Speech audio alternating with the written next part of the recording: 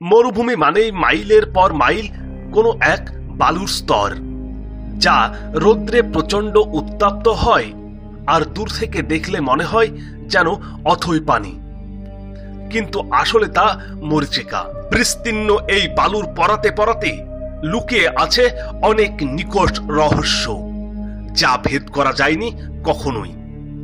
আজ আমরা এই পর্বে আপনাদের মাঝে তুলে ধরব মরুভূমিতে লুকিয়ে থাকা অজানা চারটি রহস্য। এক, সিরিয়ার ধ্বংসবশেষ। এই তো দু সালের কথা। রবার্ট মান্স সিরিয়ার মরুভূমিতে কাজ করছিলেন।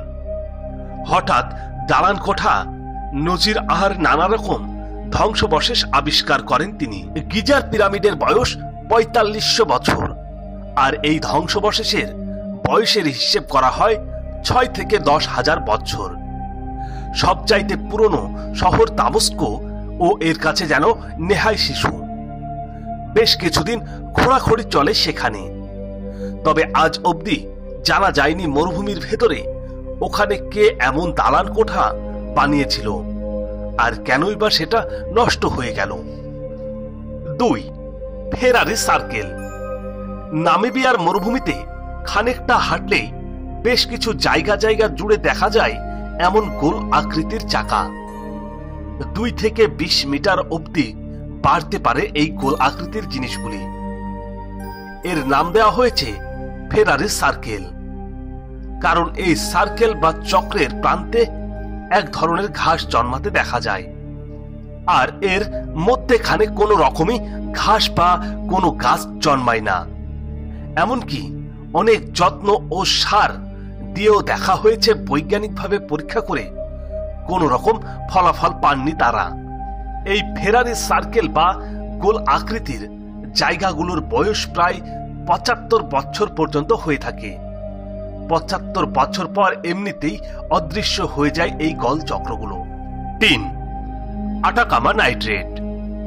দক্ষিণ আমেরিকার মরুভূমি পৃথিবীর সবচাইতে শুষ্ক স্থান হিসেবে পরিচিত। সেখানে কেউ কোনোদিন ছিল না আর কেউ থাকেও না। বলা হয় এখানে এক মিলিলিটার বৃষ্টি হলে সেটাই এর জন্য অনেক। কিন্তু সাধারণত সেখানে সেটাও হয় না। কিন্তু আমরা জানি পানি আর ব্যাকটেরিয়া মিলেই তৈরি হয় নাইট্রেট। এগুলো কোনো রকম সাহায্য ছাড়াই মরুভূমির ভেতরে স্তূপ হিসেবে তৈরি হয়েছে। আর এই নাইট্রেট যুক্ত মরুভূমির আয়তন সাতশো কিমি লম্বা এবং কুড়ি কিমি চওড়া।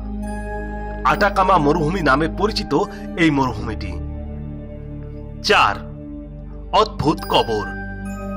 দু সালে তেতুন খামেনের সমাধির পাশেই পাওয়া যায় আরেকটি সমাধিস্থল সবাই অনেক আগ্রহ নিয়ে ভেতরে ঢোকেন সেটার। কিন্তু কিছু কাফিন ছাড়া আর কিছুই পাওয়া যায়নি ওই কবরটিতে। কোনো মানুষ বা কোনো জীবজন্তু, কিছুই নয়। সব কাফনগুলি একটি করে পাত্র।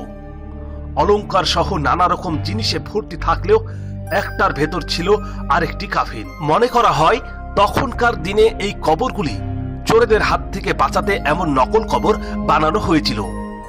কিন্তু তাহলে সেগুলো তো কোনো রাজকীয় সিল ছিল না। চোরেদের কি এতটাই বোকা ধরে নিয়েছেন তখনকার মানুষেরা? নাকি চোরেদের জন্য ছিলই না এটা? অন্য কোনো রহস্যে বানানো হয়েছিল এই কবরটি। আজও জানা যায়নি এই রহস্যের কথা।